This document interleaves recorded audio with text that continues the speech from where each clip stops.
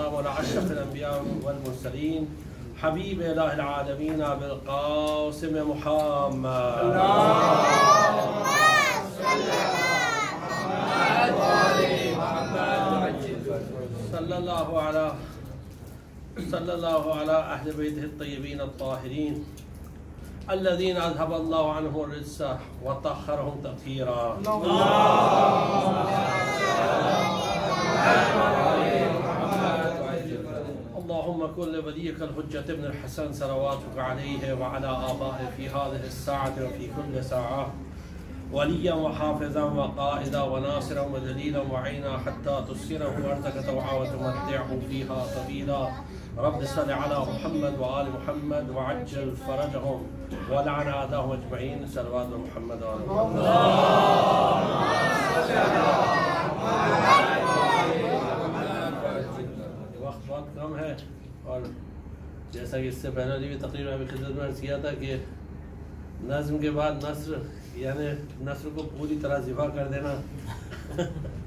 क्योंकि नज्म के सामने तो नस्र की कोई बहरहाल कोशिश करेंगे, सिर्फ़ रिवायात आल मोहम्मद अलैहिस्सलाम की खिदमत में पेश करें, जितना हो सके। बस एक सलवात पढ़ जाए मोहम्मद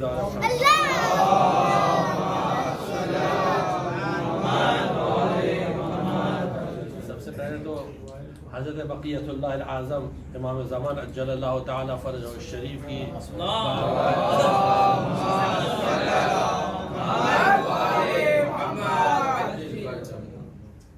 हज़रत यासूबुद्दीन अमीरुलमोमिनीन असदुल्लाह गालिब गालिब, अली की विलादत बाद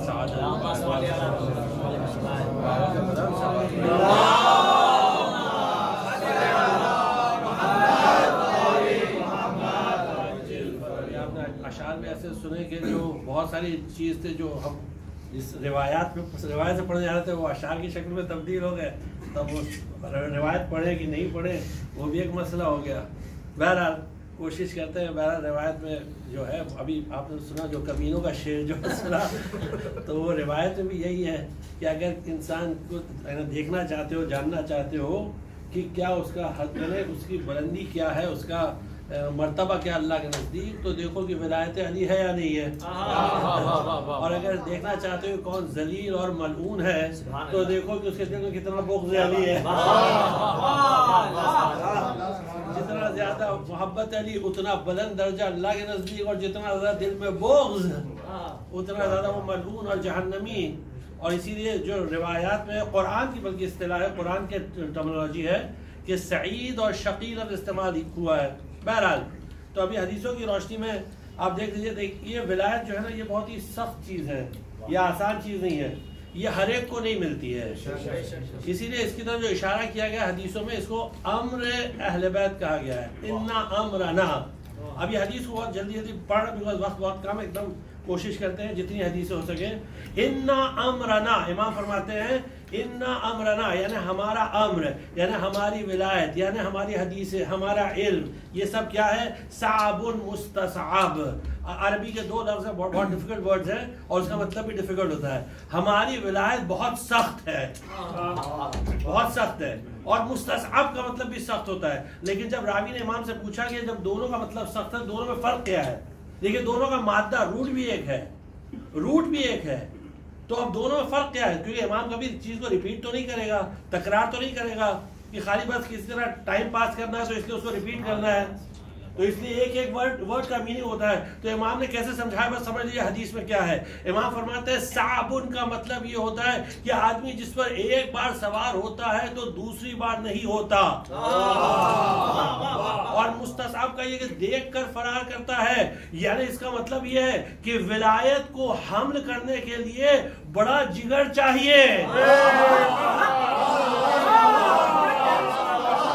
अब वो भी हदीस में है हदीस है हदीस है कौल मासूम है। इन अमर साब मुस्तसाब। ला ला इसको कोई हम नहीं कर सकता। इमाम फरमाते कोई इसे बर्दाश्त नहीं कर सकता।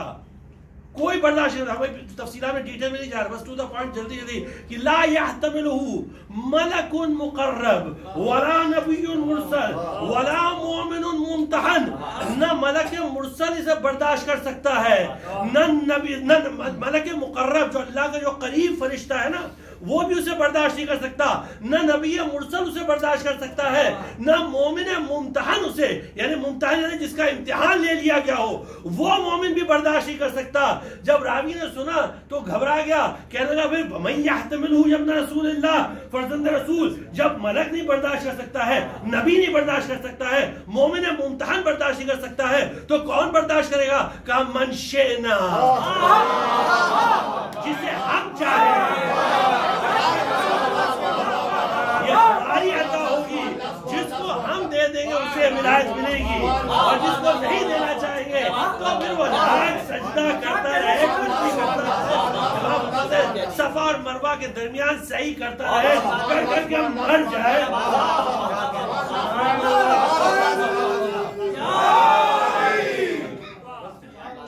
ये कि बस दुनिया वाले जो भी अलकाब उसको देते दुनिया देती रहे अलकाब दुनिया के अलकाब से कुछ नहीं होता। अरे जो उसका असली मंजिल मकाओ तो अल्लाह जानता ही क्या उसकी पोजीशन बस सिर्फ़ ये है कि आप देखिए विलायत का ज़िक्र हो, जरा गौर से सुनिएगा। विलायत का ज़िक्र हो तो चेहरा कैसा होता है? और उससे ज़्यादा जब दुश्मनान अली का ज़िक्र हो।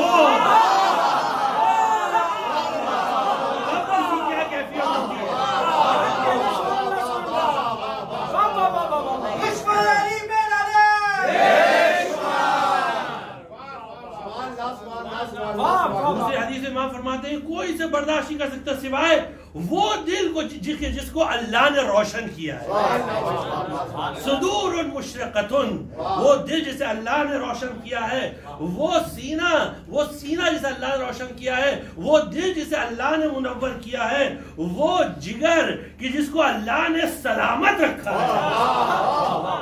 देखिए, अब अरबी के सब अल्फाज है सुदूर कुलूब अफिदतुन। अब उसको समझाना उसके लिए खुद वक्त दरकार है। लेकिन बहुत जल्दी जल्दी बोलते हैं, अफिदा अफिदा यानी फुआद से बना, फुआद यानी जिगर, दिल। तो लेकिन यहाँ जो लफ्ज इमाम ने इस्तेमाल किया, सलीमा सलीमा यानी क्या?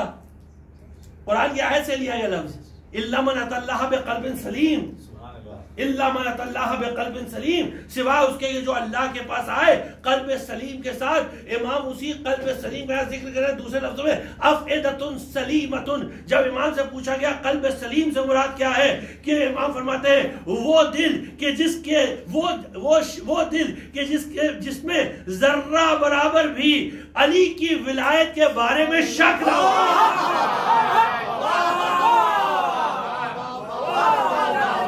इल्ला मन अतल्लाह बेक़ल्बिन सलीम जर्रा बराबर भी शक ना हो ये कैसे पॉसिबल है? वो कैसे पॉसिबल है? और ये यानी वाकई आजकल अपने यहाँ ये सब चीज़ें वो ये सब मत बोलिए लोग हज नहीं कर पाएँगे। अरे जो हज नहीं करे उसका मसला है।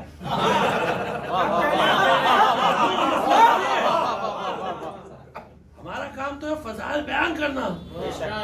अब जो नहीं बर्दाश्त कर सकता है वो बैठे नहीं हजम कर सकते तो जाए। और अगर पहले से मालूम है कि यहाँ ये सब बातें होने वाली तो ना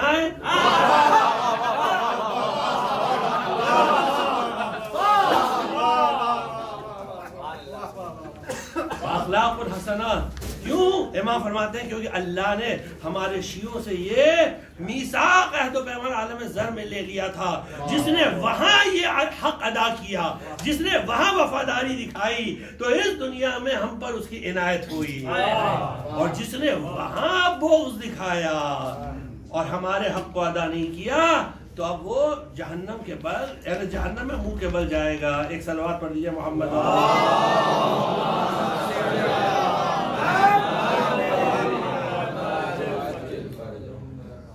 बहरहाल ये एक दूसरी रिवायत है कि जो खुद पैगंबर की जबानी है एक सलवात पढ़ दीजिए मोहम्मद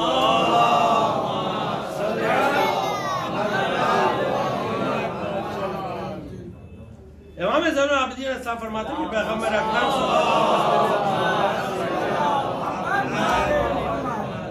कि मुझे तमाम मखलूक़ात पर अफजलियत दी गई है और तमाम नबियों पर मुझे शरफ अता किया गया है। और मुझे कुरान करीम के ज़रिए अल्लाह ने मखसूस किया है, और अली के ज़रिए अल्लाह ने मेरा एहतराम किया। उकरिम तो उकरिम तो मेरा एहतराम किया गया है, बे अलीन सैयदुल वसीइन और मौला कहना था, खुद एक कौल है कि रहमल्लाहु मन कदरा। अल्लाह उस पर उस पर रहमत नाजिल करे जो अपनी कद्र को पहचाने। अपनी कीमत को पहचाने। पैगंबर फरमाते हैं तो बेशियात खैर शियात अली। या शियात नबीयीन व अल्लाह ने मेरी ताजीम की कि मुझे ऐसे शिया अता किया पैगंबर के अल्फाज है। अल्लाह ने मेरी ताजीम की उस जिम तो कि मुझे ऐसे शिया दिए। वकील या मोहम्मद। फिर अल्लाह ने खिताब किया है मोहम्मद काबिल नामाई जो मैंने तुम्हें नेमतें दी ना। अब इसका इसको इसका तुम शुक्र अदा करो। किस तरह? ऐसा शुक्र कि जिससे तुम्हें और मैं तुम्हें इस तरह और नेमतें दूँ। मैंने पूछा, यार रब्बी वमा मैं किस तरह शुक्र अदा करूँ? पैगंबर सवाल कर रहे हैं। असल में इस तरह की हदीसों को जो हम लोग हदीस हदीस में कहते हैं, ये हदीस मसरही होती हैं। यानी पैगंबर तो जानते थे, लेकिन ये हम लोग को समझाने के लिए बात हो रही थी। पैगंबर को तो बात पैगंबर ज़ाहिर सी बात है पैगंबर को जानते थे लेकिन अगर पैगंबर सवाल ना करते तो कैसे पता चलता कि भाई क्या हक है क्या बातिल है क्या सही है क्या गलत है? इसलिए पैगंबर ने पूछा कि कि- किस तरह शुक्र अदा करूँ? यानी दूसरे लफ्जों में जो अल्लाह ने एहतराम किया है जो हम यानी हम लोग कोई चीज़ अता की है तो पैगंबर तो अल्लाह ने कहा या मोहम्मद अफजल जालिका सुनिएगा बस ये ज़्यादा वक्त नहीं लगेगा बहुत जल्दी जल्दी। एकदम फास्ट अपने बस कवर कर रहे हैं। या मोहम्मद अफजल जालिका बसुका फजला अखी का अली ए मोहम्मद इन तमाम नेमतों का शुक्र अदा करने का बेहतरीन तरीका यह है। अफजल हदीस का जुमला। देखिए हदीस पढ़ के सुना रहा था किसी को डाउट नहीं होना चाहिए। कोई ये ना बोला अपनी तरफ़ से चीज़ पढ़ रहे हैं। बेहतरीन तरीका यह है कि ये जो तुम्हारा भाई है ना अली इसकी मदह करते रहो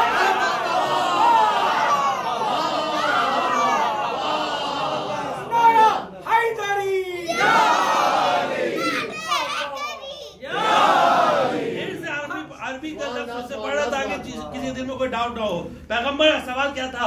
ये शुक्र का बेहतरीन तरीका क्या है? परवरदिगार तू बता दे। ज़ाहिर सी बात है अगर पैगंबर पूछते नहीं तो कोई यानी किसी को पता नहीं चलता। सवाल पैगंबर का बिल्कुल वाजे था। परवरदिगार तू बता दे। अल्लाह ने जवाब दिया। अब देखिए ये भी वही वक्त कम है। साहिल कौन है? जवाब देने वाला कौन है? बीच में कोई गुंजाइश है? अगर आप इससे बेहतर कोई चीज़ लेकर ले, ले आइए तो या मोहम्मद अफजलो जालिका बसो का बस है ना फैलाना बस है ना फैलाना बसो का फजला अखीक अली। तो बयान नहीं की सकती। वह बासुका साइरे अब अला ही और सारी मखलूक को कह दो कि खड़े हो जाए अली की ताजीम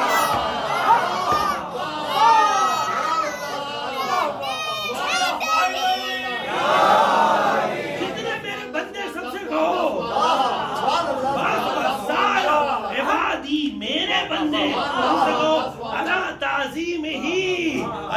ताजीम करे। और सिर्फ़ अली की नहीं वह ताजीम शियाती अली के शियों की ताजीम करे।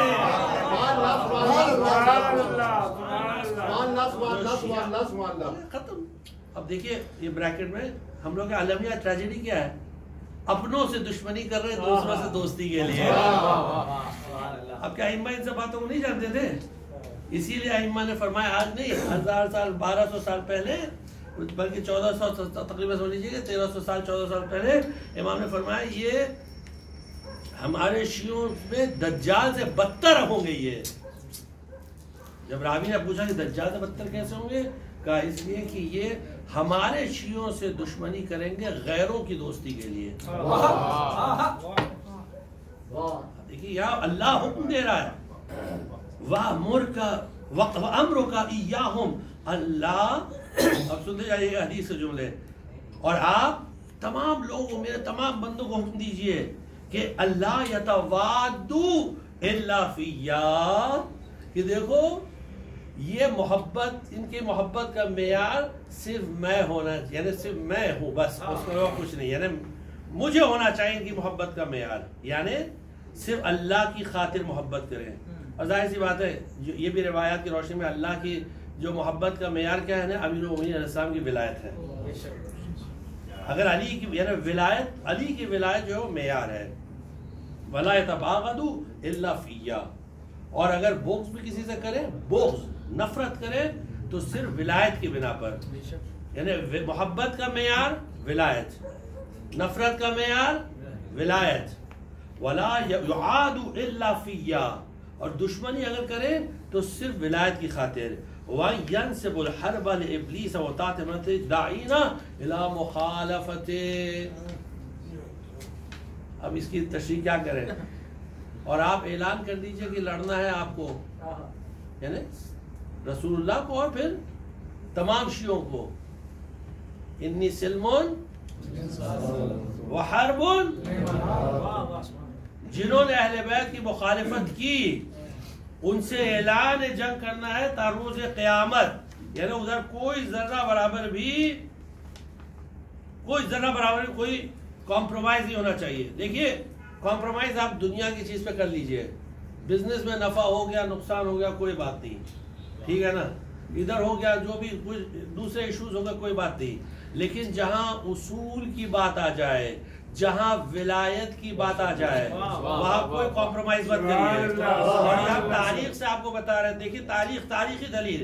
यानी आपको बताया कि हिस्ट्री में ऐसा है इससे पहले हम गालिबन बता चुके हैं कि बगदाद में सिर्फ़ एक परसेंट शिया थे एक परसेंट देखिए बहुत फास्ट हिस्ट्री बता रहे हैं एक परसेंट लेकिन वो जो एक परसेंट थे ना बड़े शुजा थे।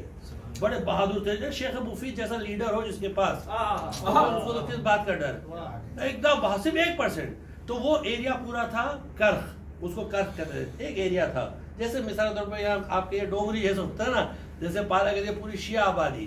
तो वैसे वो लोग क्या करते थे कि जैसे ही कोई बड़ा मौका आता था तो ऐसे बहुत बड़ा सजाते थे और उस पर लिखते थे बाकायदा। सब, यानी अल्लाह मोहम्मद अली और ये जो भी है ना, ला मोहम्मद रसूलुल्लाह अली वलीउल्लाह व वसी रसूल व खलीफतहु बिला फ़सल।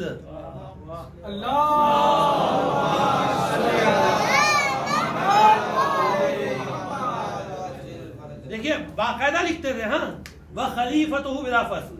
अब एक ही परसेंट है, एक परसेंट सिर्फ़ हाँ। वो लोग जो कहते हैं ना, हमको कुछ चल देंगे, ये कर देंगे, वो कर देंगे। अरे भाई, कुछ नहीं होगा, वो भी हम बताते हैं आपको, देखिए, क्या होगा। सुन लीजिए जो लोग कहते हैं उनका जवाब हम दे रहे हैं। तो ये लोग आए जिनको पसंद नहीं था। कहने लगे भाई ये आप खलीफतहू बिलाफा से निकाल दीजिए ये हम इससे हमको इस पर हमको इतराज है। ये सही नहीं है। तो जो वहाँ के जवान थे उन्होंने भाई ये तो इसमें एक हर्फ कम नहीं होगा। जैसा वैसा है। तो बोले नहीं तुम्हें बड़ा ये होगा वो होगा वो होगा वो होगा तो फिर जो वहाँ लोग थे ना जो मसलहत पसंद अफराद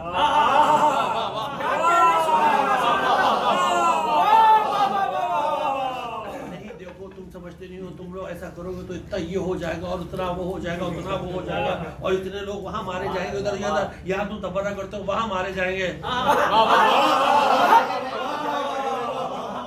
तुम तबर्रा यहाँ करते हो वहाँ लोग मारे जा रहे हैं वहाँ सीढ़ी दिखा दिखा मारे जा रहे हैं। इमाम रजा अलैहिस्सलाम से आकर उसने यही कहा कि आप यहाँ बैठ के तबर्रा कर रहे हैं और वहाँ लोग मारे जा रहे हैं इमाम रजा से कहा। इमाम ने फरमाया एक बात सुन ले। जवाब सुनिए इमाम का। इमाम फरमाते अल्लाह के लिए जन्नत में एक ऐसा मकाम है कि जिसमें चूटियाँ तो पहुँच जाएँगी लेकिन बड़े बड़े ऊँट नहीं पहुँच पाएँगे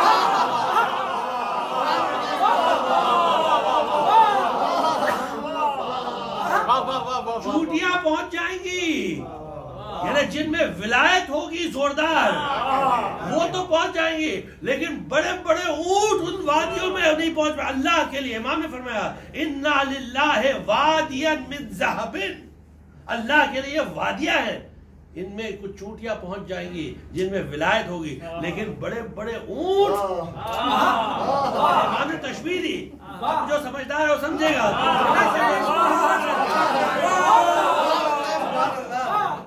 बड़े बड़े नहीं पहुँचे लेकिन चूटियाँ छोटी छोटी पहुँच जाएँगी। तो बस उसी तरह एतराज़ किया। लोगों ने आके उससे कहा निकाह तो देखो खलीफत बिलाफत में क्या होता है? बहुत प्रेशर डाला। जब बहुत प्रेशर डाला तो जवानों ने कहा ठीक है ये हम हिस्ट्री पढ़ रहे हैं आपसे कोई ऐसे यानी अभी तो समझो कोई दास्तान सुना रहे हैं। ये हिस्ट्री है और सन 440 की हिस्ट्री है। 440 हिजरी कर्ख की हिस्ट्री है। कर्ख बगदाद की सबब है। ओके और शेख तूसी का ज़माना है। शेख तूसी मरजा तकलीद है। शेख तूसी मरजा तकलीद है उस वक्त। वाजे आपके लिए? लोगों ने कहा, नहीं नहीं, बहरहाल, जब बहुत प्रेशर आया तो वो निकाल दिया खलीफत बिला फ़सल अब जब निकाल दिया खलीफत बिला फ़सल तो सामने वालों समझ में टैक्टिक यही होती है। अब इसको हम मुकम्मल नहीं करते यहाँ छोड़ देते हैं। अब आपको जल्दी से छोटी सी दास्तान सुनाते ये दास्तान है। ताकि बात एकदम क्लियर हो जाए, आगे आप खुद फैसला करते चले जाएँगे। एक मुर्गा था, सुबह उठ के अजान देता था। समझ गया ओनर को बात पसंद नहीं आई। उसने कहा, भाई, ये अजान मत दे, मेरी नींद खराब होती है। तो बोला, ठीक है, और अगर तूने अजान दी तो जिबा कर दूँगा। तो मुर्गा डर के बाद बोला भाई जान है तो जहान है। हाँ। उसने अजान देना बंद कर दिया। थोड़े थोड़े दिन बाद ओनर की फिर कुछ डिमांड हुई। कहा कि भाई मुर्गियों की तरह आवाज़ निकाल। तो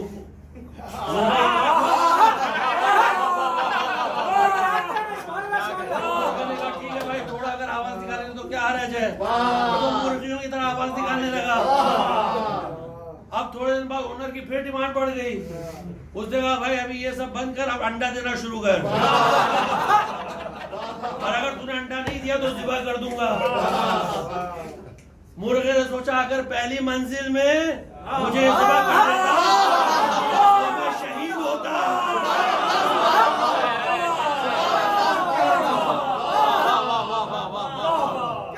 पहले अगर तू उसूल पे कॉम्प्रोमाइज नहीं करता।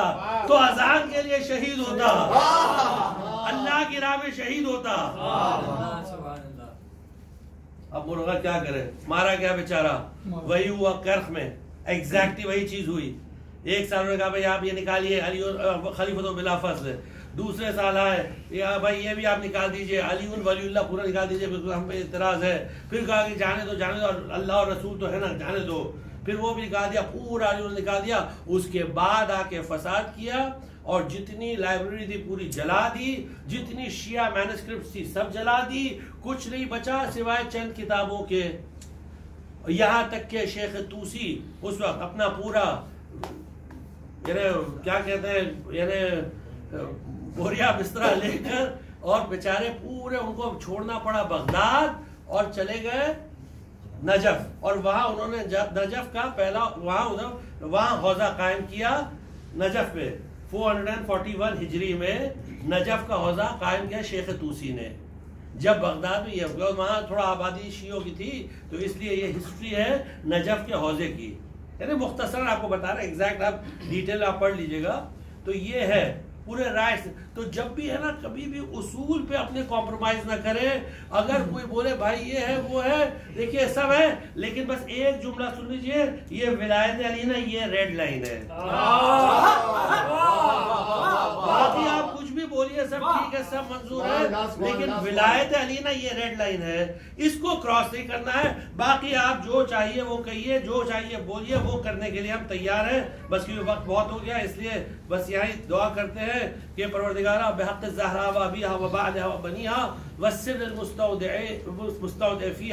परवरदिगारा हम सबको विलायत अली इब्न अबी तालिब और उनकी मासूम औलाद की खिदमत की तोफ़ी अता फरमा। इमाम ज़माना अज्जल्लाहु ताला फरज शरीफ के ज़हूर में ताजील फरमा। इमाम ज़माना अज्जल्लाहु ताला फरज शरीफ के ज़हूर में ताजील अता फरमा। उनके ज़हूर को जल्द अज जल्द मुकद्दर फरमा। बस यानी क्योंकि इमाम के ज़हूर की बात आई है, खाली एक बात बता दें कि हमारे यहाँ तमाम तोजुल मसाइल में एक मसला है, आप जानते हैं कि मसला ये है मसला है सब लोग जानते हैं पढ़ते भी हैं कि नासिबी जो है वो जहूर से पहले तक पा, पाक है। नासिबी नासिबी हाँ, जानते हैं ना? हाँ। दुश्मन अहल बैत वो जहूर से पहले तक पाक है। लेकिन जब इमाम ज़माना तशरीफ़ लाएँगे तो सबसे पहला जो फतवा देंगे वो नासिबी की नजासत का होगा। इसलिए और दो परवरदिगार इमाम ज़मान इस्लाम के ज़हूर में ताजील फरमा हमको उनका आवान अंसार में शुमार फरमा परवरदिगार जो लोग परेशान हाल उनके परेशानियों को दूर फरमा जो लावलत उनको औलाद नेक और साले अता फरमा जो अपने वतन से दूर उनको सही सालिम वतन लौटा दे। परवरदिगार परवरदिगार हमको दुनिया में ज़ियारत हुसैन और आखिरत में शफात हुसैन से मुशर्रफ फरमा आखिर दावाना 나, 나, 소리야.